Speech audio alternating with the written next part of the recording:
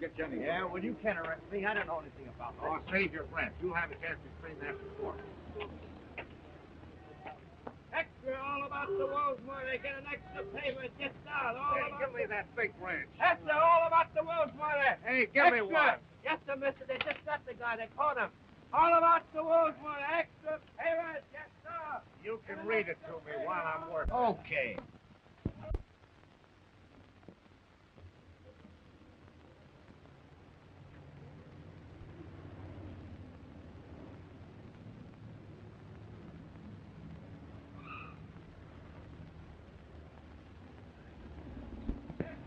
Say, that guy looks like he's seen everything anyhow.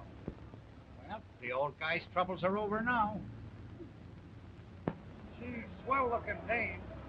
Much younger than the old boy.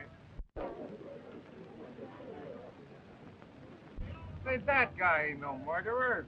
How do you know? Well, look at the face. Intelligent forehead and a swell pair of eyes. You can't tell by the face and eyes. Only last week they're telling me about it.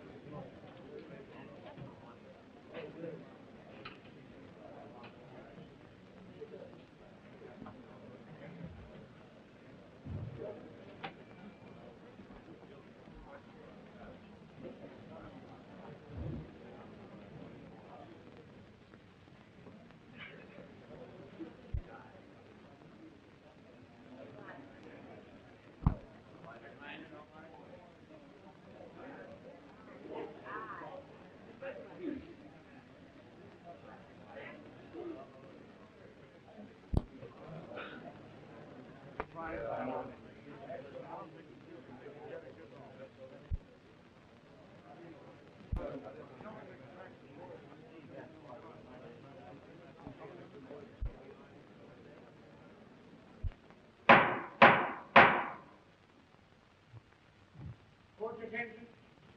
Everybody rise. Hear ye, hear ye, hear ye. Supreme Court of the State of New York is now in session. The Honorable William J. Hollister now presiding. Seated, please.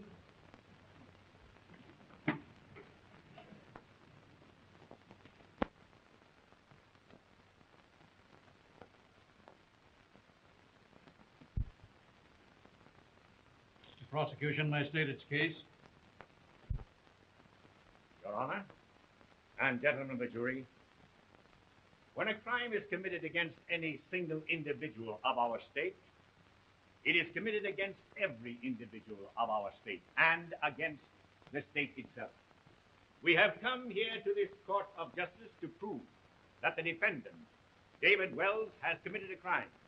That deliberately and willfully he did murder upon the body of one Emery Wells. Murder, under any circumstance, is the most heinous of crimes. But, gentlemen of the jury, when a man with malice aforethought wantonly commits such a crime upon his own flesh and blood, upon one whom he should respect and honor and revere, I cannot find a word strong enough to describe such a deed. Gentlemen, the state is going to prove that David Wells planned to kill and then did kill his own father. The state is going further than that. It is going to prove that this crime, without a single extenuating circumstance, was committed solely for a mercenary purpose. I am not now going to outline the state's case for the reason it's so obvious, so simple, and so completely convincing that I want you, gentlemen of the jury, to hear it as I first heard it from the testimony of the witnesses. I do not have to give you a picture of the events that led up to and immediately followed the crime. I do not have to explain motives and acts, because the testimony that you shall hear will make them so evident that you will be convinced, as the state is, that the defendant is guilty of murder in the first degree. Call the first witness. Mrs. Martha Gregory. Mrs. Martha Gregory, take the stand, please.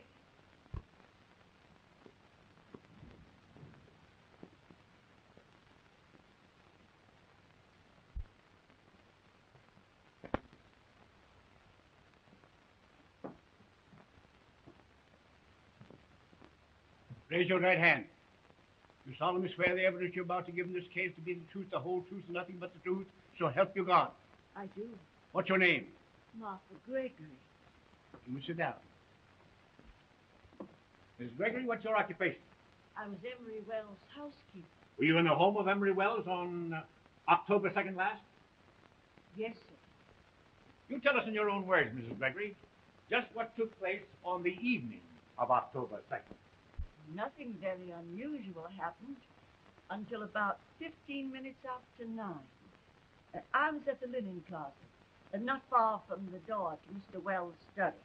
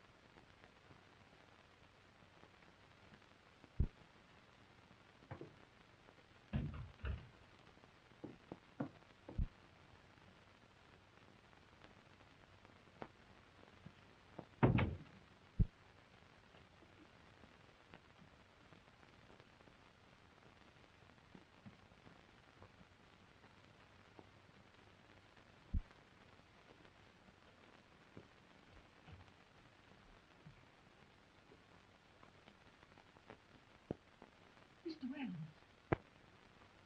Mr. Wells!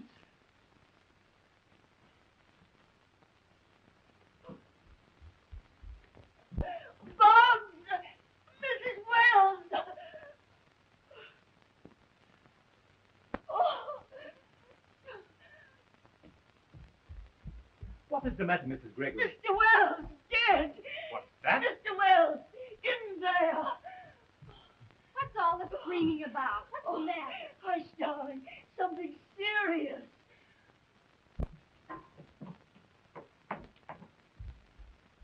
Why, what's the matter? Phone the police. Warren, what's happened? Is it Emery? Yes. You might as well know the truth I now. It's murder.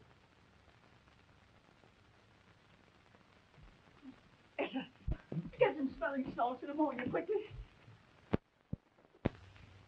Right after that, the police arrived and took charge. That's all, Mrs. Gregory.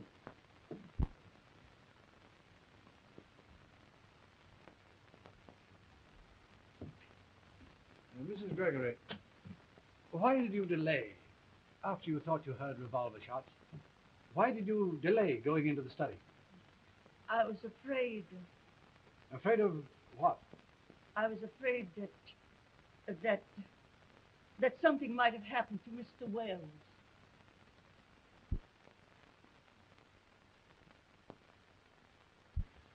You testified that you first went to the servants' quarters and there found Etta Billings the maid lying on her bed reading a magazine, did you not? Yes, That's all. Edmund Bart, take the stand, please.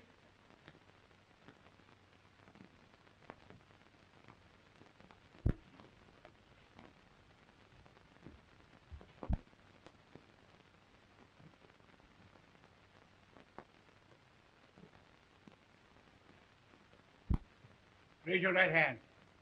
You solemnly swear the evidence about to give in this case to be the truth, the whole truth, nothing but the truth, so help you God.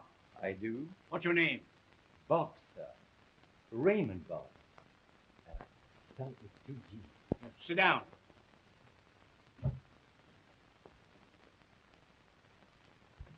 Reverend Boggs, what's your position in the home of Emery Wells? I am the butler, sir. Now tell us what happened there on the afternoon and evening of October 2nd. Early in the afternoon, I answered the telephone. It was Mr. Wells' son, David. It was the first time Mr. David had called in many months.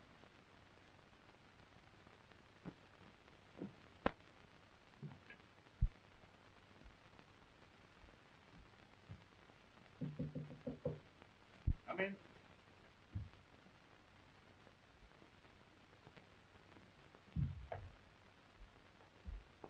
Mr. David is on the telephone, sir.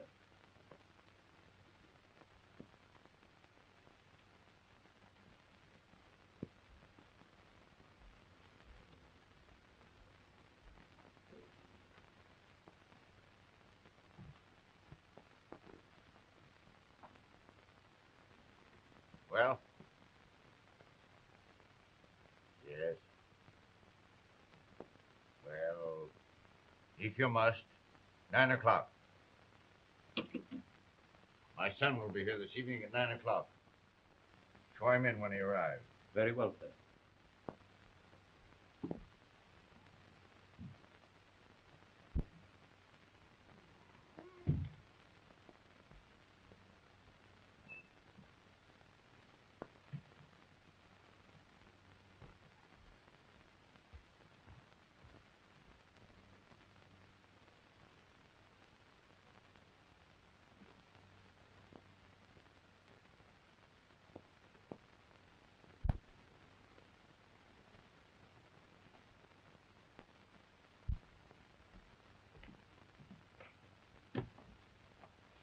How do you do, Mr. David? Hello, Boggs. My father's expecting me. Yes, sir.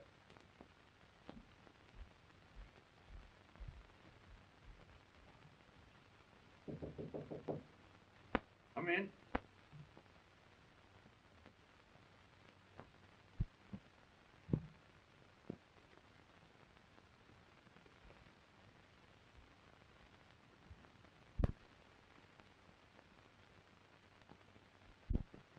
Help! Boggs! Mrs. Wells! Oh, oh, What's the matter, Mrs. Gregory? Mr. Wells is dead. What's that? Mr. Wells in there. And then Mr. Slade went into the room and found that Mr. Wells was dead.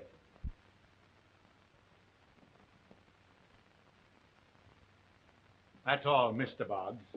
Thank you.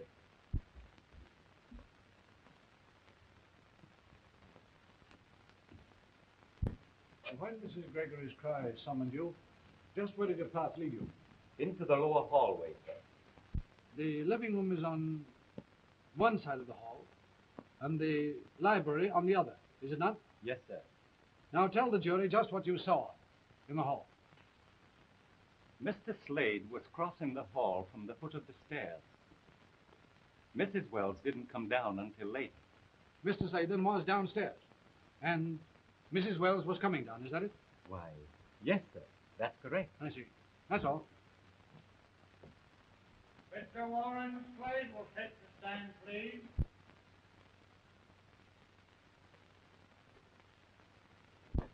You're through.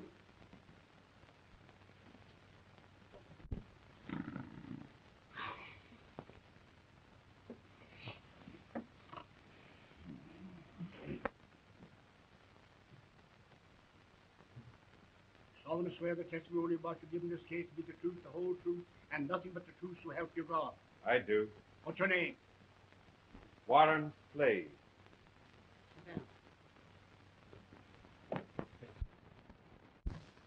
What was your duty in connection with Emery Wells?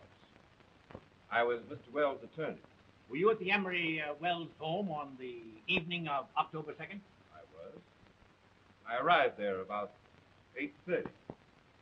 Wells had sent for. Had he said why he sent for you?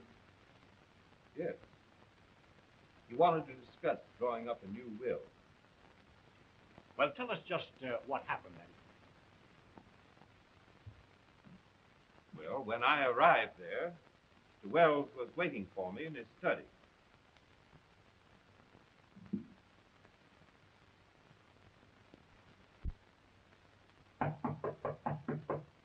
Come in. Good evening, Mr. Wells.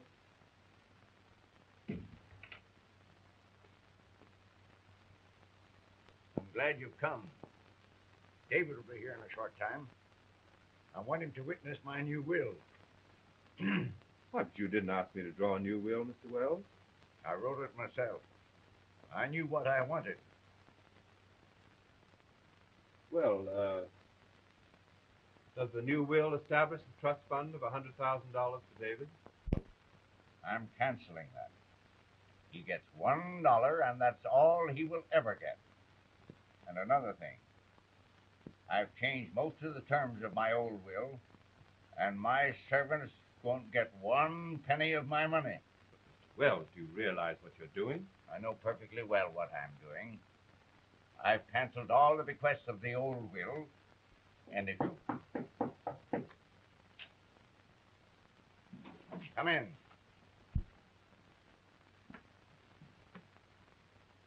Good evening, Mr. Slade. Good evening, David. Good evening.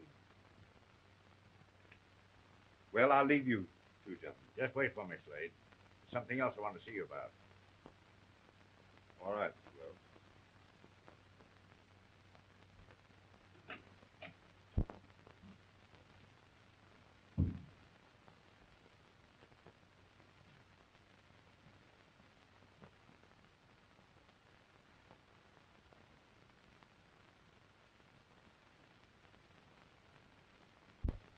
When I next went into the study, Mr. Wells was dead. Had Mr. Wells signed the new will? Not that I know of. At least, it's never been found. As there is no uh, evidence that the new will had been signed, the previous one will still stand. Is that right? Correct. And the trust fund of $100,000 for David Wells remains? It does. That's all.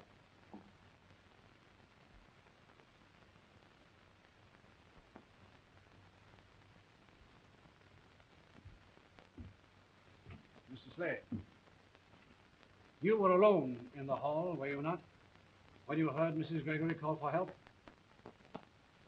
Yes, yes, I was. Uh, Tell me, have you any idea what that other matter was that Mr. Wells wanted to discuss with you? No, I haven't. That's all. Silence, Wells. Attention, stand, please.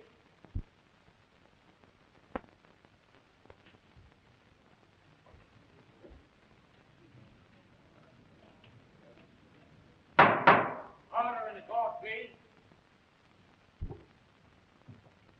Raise your right hand, please. Left hand on the book. You solemnly swear the testimony you're giving in this case to be the truth, the whole truth, and nothing but the truth, so help you God. I do. And what is your name? Mrs. Inez Wells. Sit down, please.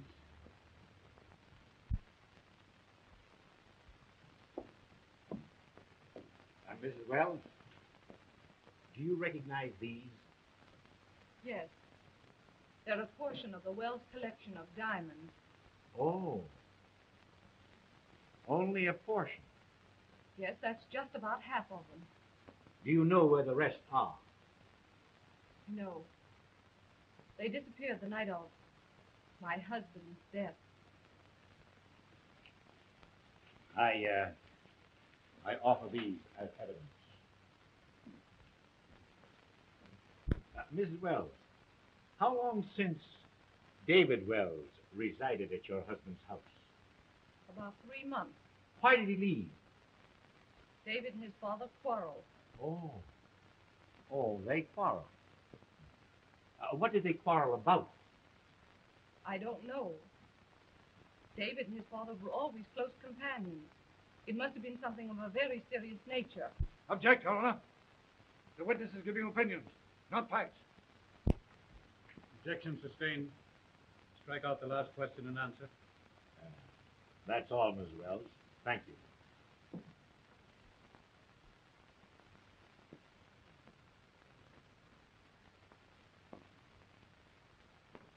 Mrs. Wells, uh, where were you when the defendant entered your home on the evening of October the 2nd? In my room, preparing to retire. Uh, what time was it? About nine o'clock. Do you generally prepare to retire as early as 9 o'clock? No.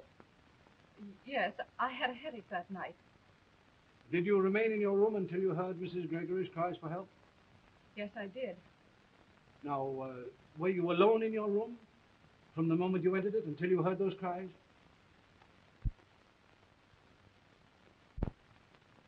Were you, Mrs. Wells? No. Oh. Then someone came into your room. Mr. Slade came upstairs after he left Mr. Wells. Uh, Mrs. Wells, why did you receive your husband's attorney in your room when you were preparing to retire? I I wanted to ask his advice about some stock I intended to purchase. How long did Mr. Well, Mr. Slade remain in your room? until we heard the noise from downstairs. What did the noise sound like? It uh, might have been a revolver shot? Yes, as though something heavy might have fallen, or a report, or yes, like a revolver shot. I see.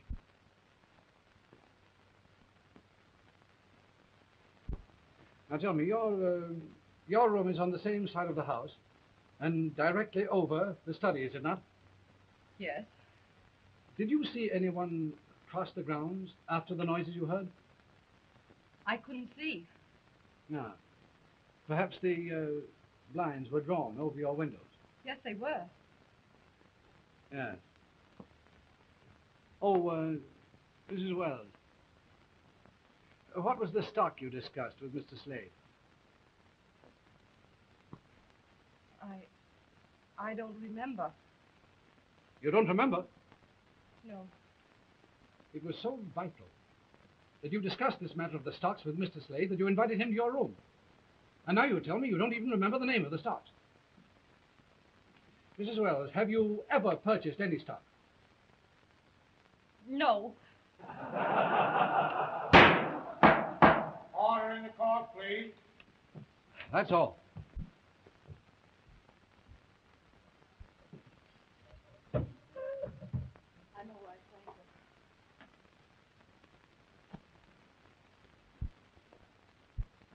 This court is adjourned until tomorrow morning at 10 o'clock.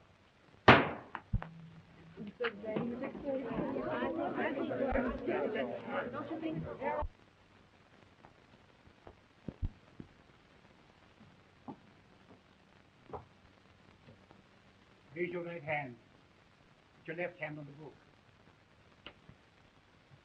You solemnly swear the evidence you give in the case be the truth, the whole truth and nothing but the truth to help you God. I do. And what's your name? Etta Billy. Sit down. Miss Billings, on October the 2nd, what was your occupation? I was downstairs maid in Mr. Wells' home.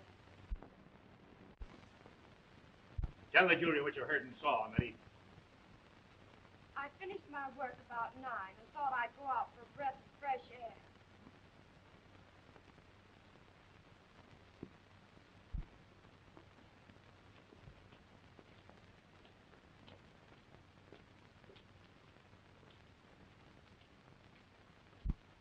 I knew you would come to me begging. I'm not begging.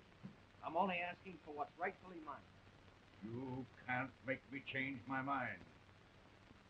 Even though you're my father, I'll say that a man like you hasn't the right to live. Miss Billings, are you still working in the Wells household? No, And why did you leave? Mrs. Wells discharged me When? the day after Mr. Wells died. Tell me, uh, how did you first obtain your position there? Mrs. Gregory got me the job. Mrs. Gregory takes great interest in you, doesn't she? Yes, she does. Is Mrs. Gregory any relation to you? I object, Your Honor. This line of questioning has no bearing on the case. What does counsel desire to prove by this line of questioning?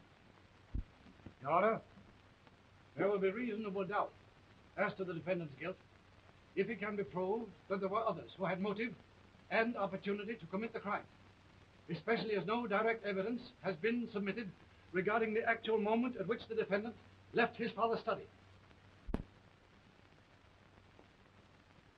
Objection overruled. Counsel may proceed. I'll ask the question again. Is Mrs. Gregory any relation to you? Yes, What? she's my mother.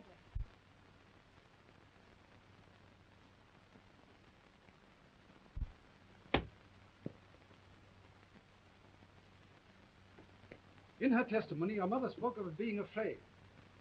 Was she afraid on your account? No, Had you any reason for hating Mr. Wells? why should I? I'm asking the questions. Had you any reason for hating Mr. Wells? No, Did you have any reason to kill him? I object. The witness is not on trial. Objection sustained. You need not answer that question. That's all. Officer Miles will take the stand, please.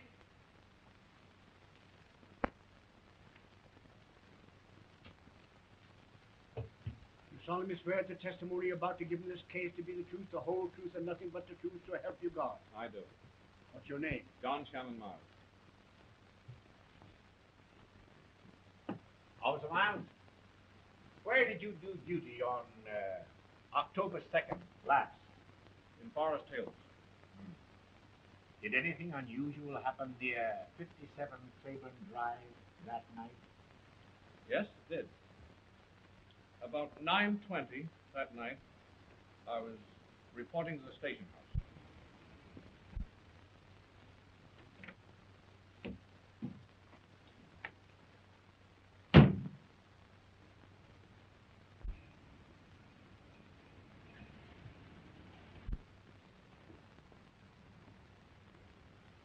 Maybe you don't know it's nighttime, young fella. Where are your parking lights?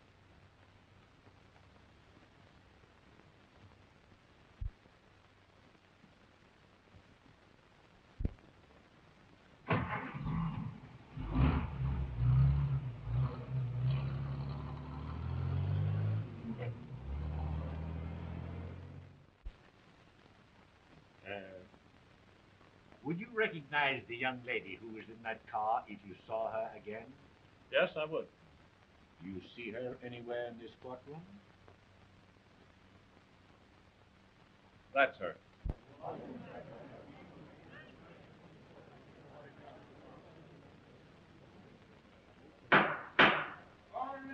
please. That's all.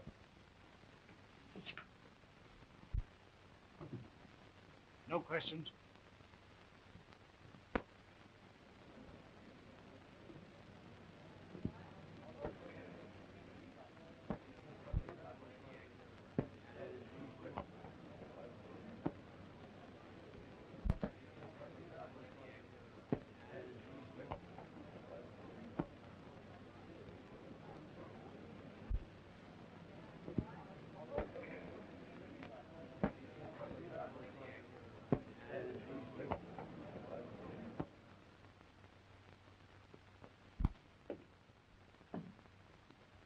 Lieutenant Elkins, you're on the homicide squad, are you not? Yes, Did you arrest David Wells?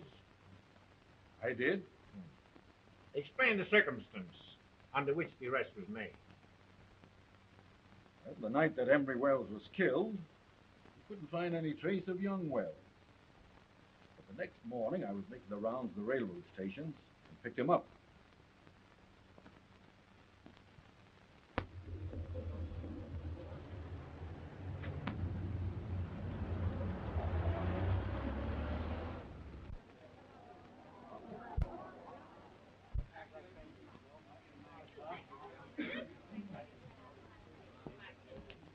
David Wells?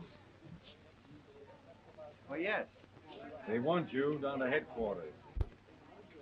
That can't be. But it is. Making a getaway, eh? Now, meet in Nevada.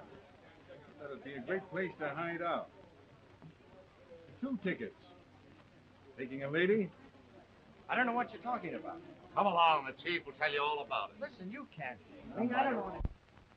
Captain Elkins, the defense is perfectly willing to concede that Emery Wells met his death by a 32 caliber bullet. But have you found the gun from which that bullet was fired? No. Now, the mere fact of discovering a bullet would have no bearing on who fired the shot, would it? No. That's all.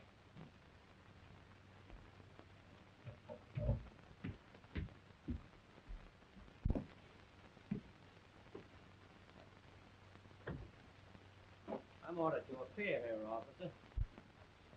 They handed me a subpoena. They want to hear my story. Take off your hat. There he is. Your Honor, this gentleman is a material witness, Mr. Ralph Varney. I'd like to have him testify. Ralph Varney, take the stand, please. See? What I tell you?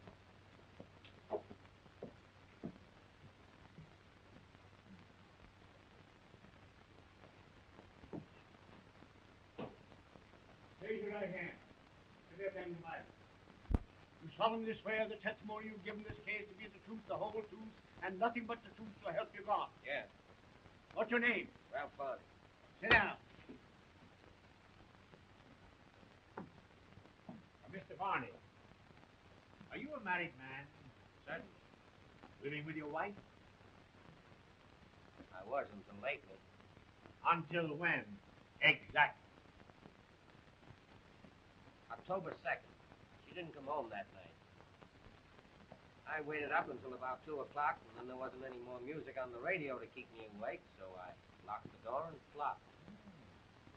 Your wife didn't come home all night. Is that right? She ain't been home yet. Say, do you know anything a guy can do to make his wife behave? Order in the court. I shall not warn the spectators again. I'll have the courtroom clear. Proceed. Uh, do you know where your wife was on the night of October 2nd? Yes. David Wells. That's all. Mr. Varney, uh, just what is your occupation? What? I, uh, I beg your pardon. Uh, uh, just what do you work at? Oh. Well, I'm right between jobs at the minute. I see. And uh, when you uh, when you do a job, just uh, what sort of a job uh, do you do? Oh, I sell. Uh... Say, uh, you ain't going to use this against me, are you? No, no, no, no, no. You uh, you may answer the question. Well, I sell the real McCoy. I'm sorry, I haven't got a bit right now. They've been knocking all the boats over lately. Oh, that's too bad. You uh, you mean you're a bootlegger? Well, uh, I guess that's just what you call it. But uh, I got something good coming up, and I think I'm going to land it. Revenue officer. Splendid.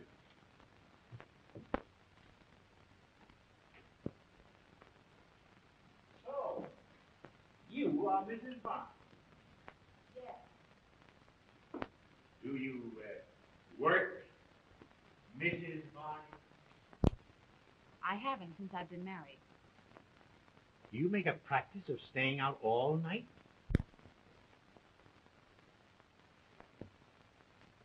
I believe my husband answered that. On the night of October 2nd, you were in a car with a defendant near the Wells home. When you left there, where did you go? I can't say. You mean you refused? I mean, I can't. On October the 3rd, the defendant bought two railroad tickets for Nevada. Was one of them intended for you? Yes, I believe it was. And the second one was to be used by the defendant. I can't say. You mean that you're ashamed to say? I'm not ashamed of anything I've done. Not even of associating with a murderer? Object. Counsel is not giving a verdict in this case. I hope I shan't have to warn the prosecutor again to conduct this trial in a manner becoming to his profession. I apologize to the court and withdraw the question. That's all. Gentlemen, the defense is ready to let the case rest on the evidence of one single witness. The only witness who knows the real truth. David Wells will take the stand.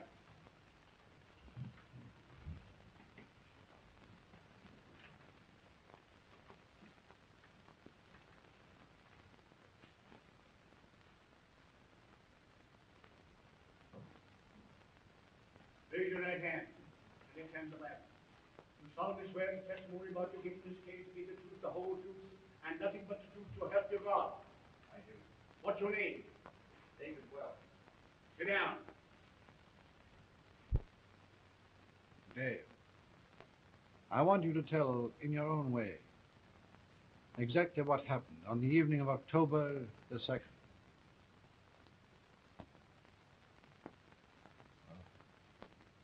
Early that afternoon, I called my father on the telephone. I, I needed a large amount of money. I explained that to him, and we made an appointment for, for that evening. It isn't easy for me to tell you why I needed the money, but because of, of what's happened here, I, I will.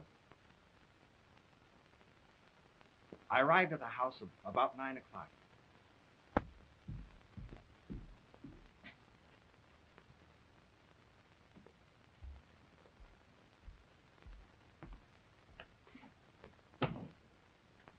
How are you, Mr. David? Hello, Boggs. My father's expecting me. Yes, sir.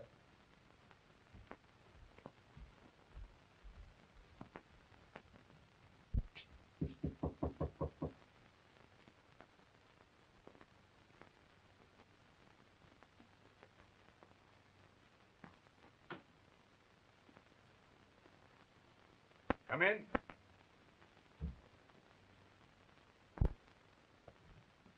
Good evening, Mr. Slade. Good evening, David. Good evening. Well, I'll leave you, gentlemen. Wait for me, Slade. Something else I want to talk to you about. All right, Mr. Wells.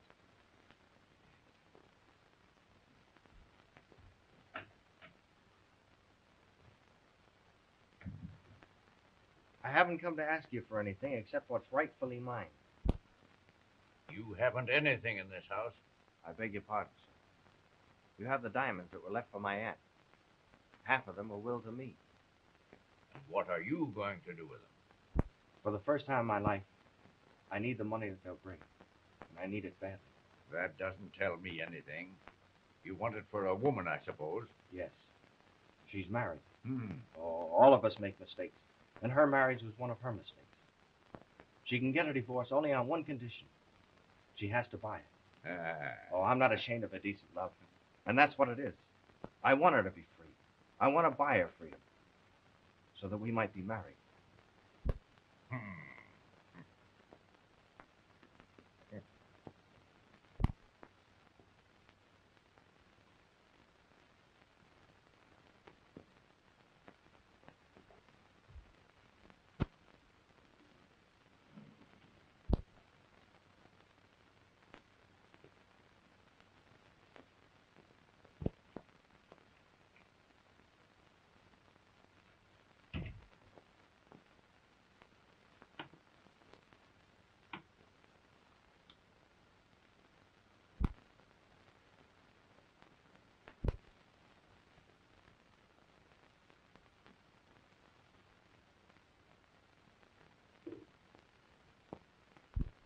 There they are.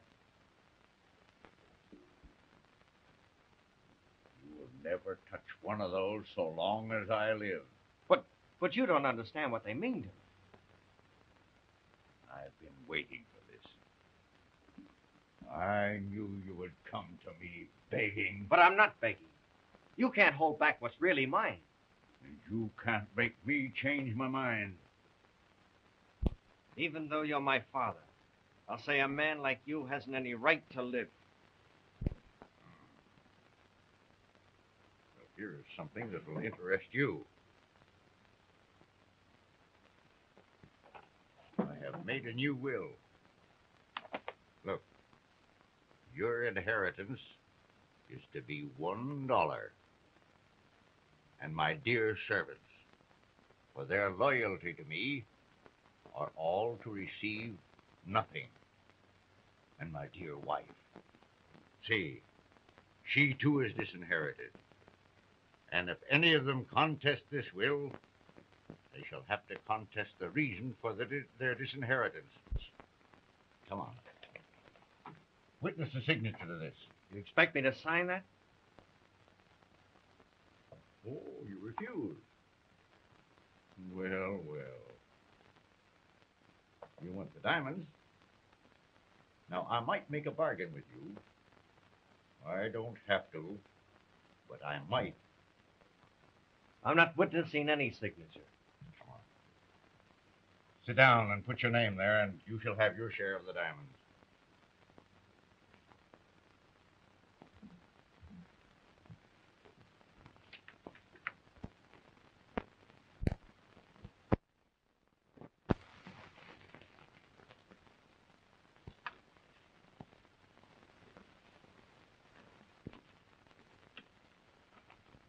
There must be one other signature to this will. One other signature. Could I have my share now? Grace is waiting for me outside. Told you you shouldn't touch one of these so long as I live. You mean to say you're not going to give them to me after you promised? You'll not touch one of them so long as I live. I said you didn't have any right to live.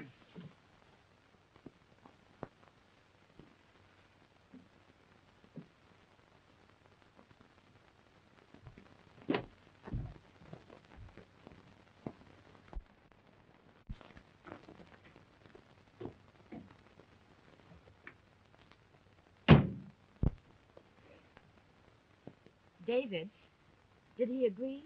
No. And it's even worse than that.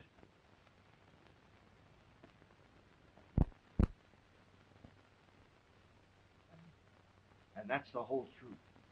I swear it.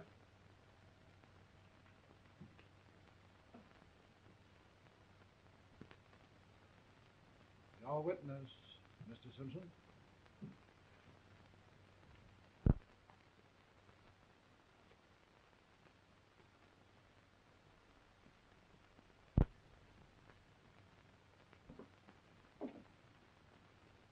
You left your father's home three months ago. What was the reason?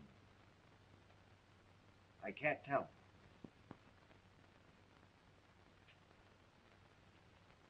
When you left the night of your father's death, where did you go? I can't tell. You fear that if the truth were known, other evidence of your guilt might come to light? That isn't true. Or that the missing will or diamonds would be found? No. Or even the revolver with which your father was done to death? No. The day after your father was murdered, you were running away, were you not? No. There was only one way left for Grace to secure her freedom. That's why we were going away to get her divorced. Isn't it true that you were the last person to see him alive? I don't know. But you did say that your father hadn't any right to live. Yes, yes, yes, I did. Then you admit that you killed your father. Why, why, no, of course not. But he was dead when, when you last saw him. Yes. Uh, no, no, he, he Well, was. which do you mean? Yes or no? My father was alive when I left him. Where did you go after you left your father?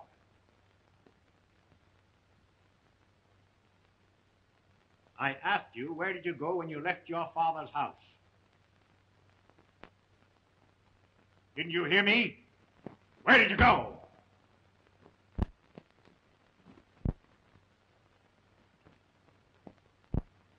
It might be to your advantage to answer that question, my boy. I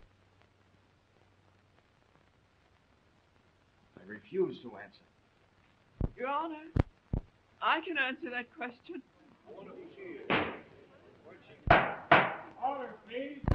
Will you take the stand as a witness, madam? Yes. Your Honor, I crave permission to put this woman on the stand for questioning. Granted. You can't question her. I tell you, she doesn't know anything about it. I'll tell her the truth about everything. I confess I killed her. She can't say anything about it. She doesn't know anything about it. Raise your right hand, please. Your Left hand on the Bible. You solemnly swear to the testimony you're giving in this case to be the truth, the whole truth, and nothing but the truth, so help you God. I do. Your name, please. Mary Stevens. Sit down. Mrs. Stevens, do you know the accused? Yes, Have you known him long? yes. I'm his mother.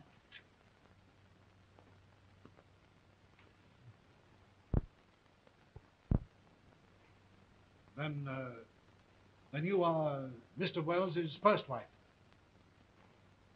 Emery promised to marry me.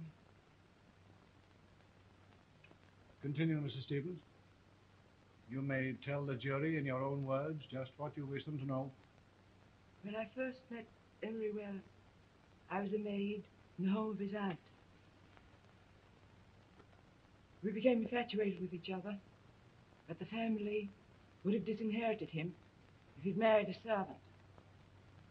There was a great deal of pride in the Wells family. When David was born, he was a wonderful baby.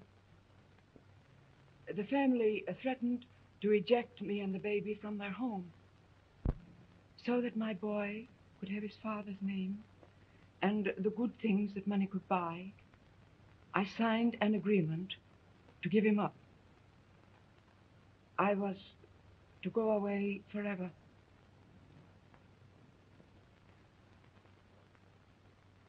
I never saw him again until three months ago. I object, Your Honor, on the grounds that the matter referred to by the witness is incompetent, irrelevant, and immaterial. May it please the court. The defendant has never told even me about his mother. It is impossible, therefore, that I can make a direct examination of the witness. Objection overruled.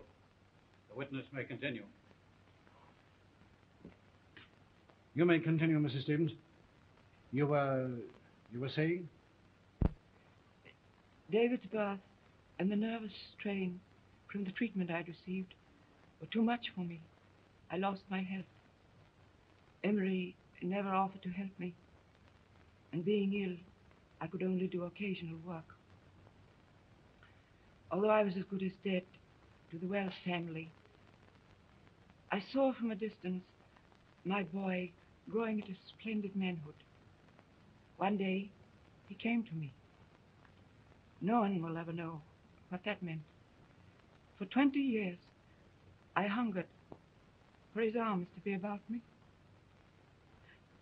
He took me in his arms and kissed me.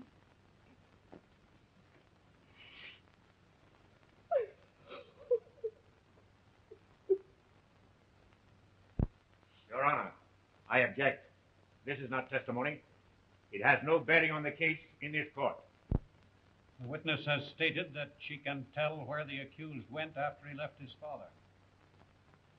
Objection overruled. Witness may continue.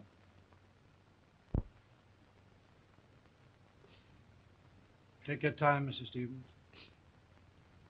You were saying that your son came to you three months ago. Uh, how did that happen? David found the agreement that I'd signed. He left his father and came to me. Then what did he do? He rented an apartment and made a home for me. It was then that he met Grace Varney. They both tried to make me happy. David never saw his father again until that night.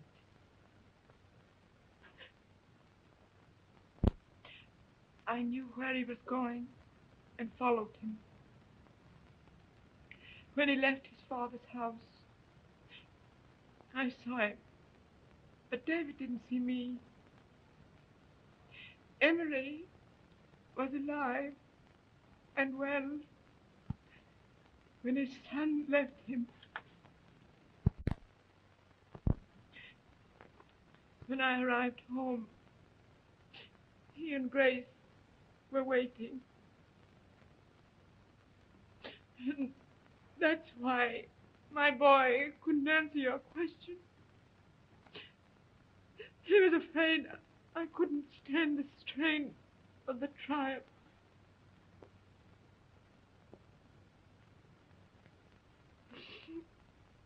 The other ticket he bought was for me. He planned on my going away with Grace. You can't condemn a man for something he didn't do. David did not commit the crime. I know he didn't. I.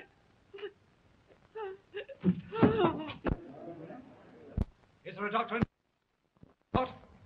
Get one, please. This court is in recess.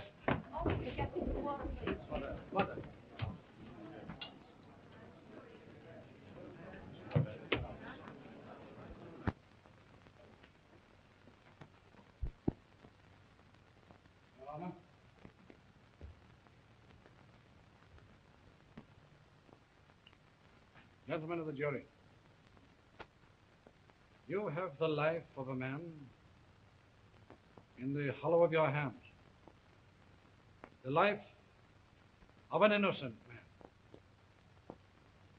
The revelations of this case have been as new, as strange, as overwhelming to me as they must have been to you.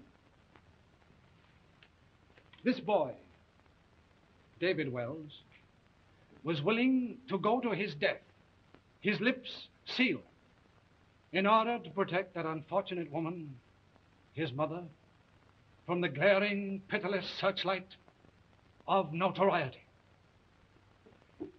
Gentlemen of the jury, the state has founded its case on nothing but circumstantial evidence. No one saw David Wells fire the shot which killed his father. No one has discovered the revolver from which that shot was fired. No one has been produced by the state to testify as to any actual motive that would induce David Wells to commit so brutal a deed.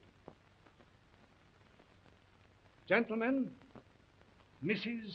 Stevens herself swore under oath that she saw David Wells leave his father's study. And when he left his father's study, Mrs. Stevens testified that Emery Wells was alive and well.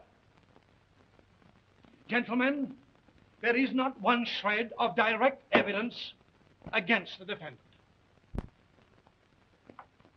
Would you take the life of any man on such flimsy, indefinite, unsubstantiated evidence as has been submitted by the state? How then, gentlemen, can you send to his death this boy?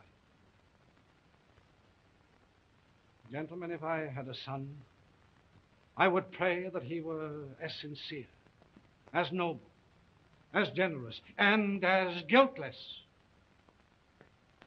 as that young man who sits there with unwavering faith that you will send him out, a free man, to the bedside of his mother, who clings to the last thin shreds of life, waiting and praying that you will have said her son is not guilty.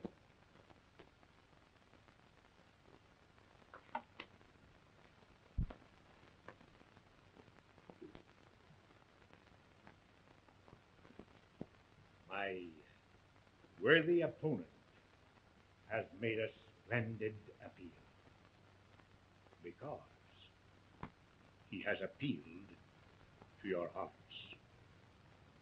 But, gentlemen, the law knows no appeal to the heart. It must be an appeal to the reason. It is a question of right or wrong. We may sympathize with David Wells, but we cannot absolve him of the crime he has committed. He has broken the law. He has taken the life of his own father, and he must pay the penalty. David Wells went into his father's study and quarreled with him, and in the heat of the argument, after threatening him with death, he did actually kill him. And so I say to you, gentlemen of the jury, there is only one verdict you can bring. You must find the defendant guilty. For only with such a verdict can you keep safe the honor of the citizens of our great state.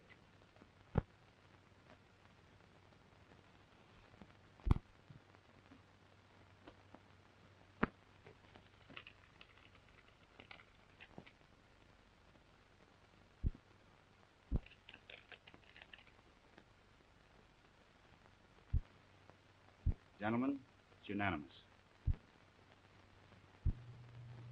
When David left, I went in. I told Emery that I'd make a scandal of everything unless he did what was right. He tried to force me out. Then he reached for a gun and threatened me.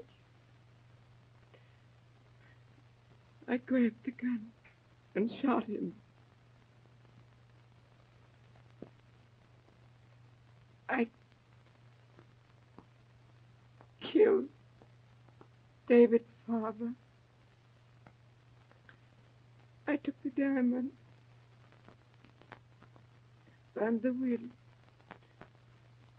And I went home.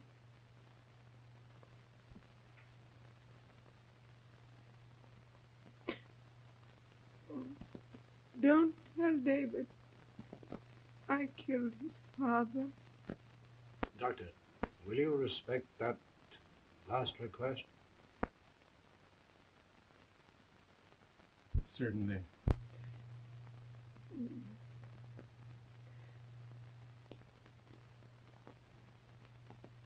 I just wanted a little happiness with my boy.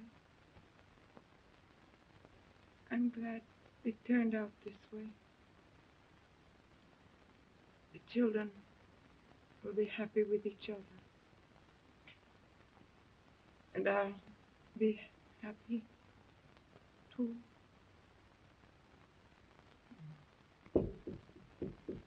I'll go.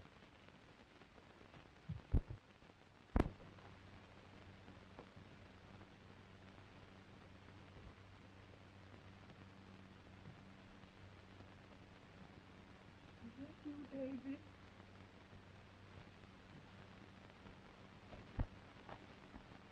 Yes, Mother. Hold me tight. Just for a moment. Be a good boy. Take care of Grace.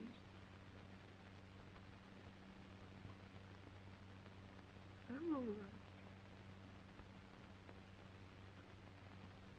There, David? Yes, Mother. I can't see you.